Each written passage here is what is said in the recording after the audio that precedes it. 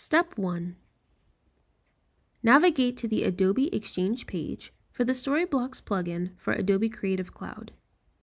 Step 2. Download the plugin by clicking the Free button if you are not signed in to Adobe Creative Cloud.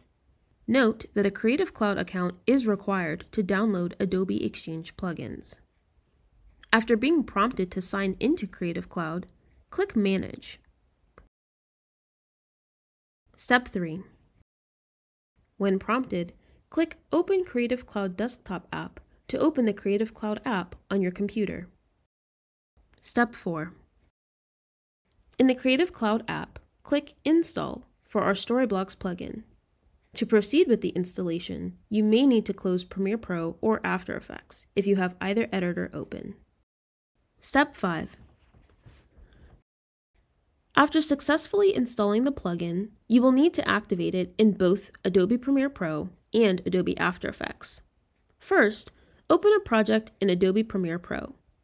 Navigate to Window, Extensions, Storyblocks.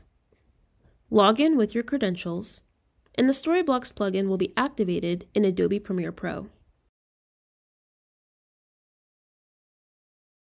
Open Adobe After Effects and repeat the same process by opening a project in After Effects, navigating to Window, Extensions, Storyblocks, and logging in with your credentials.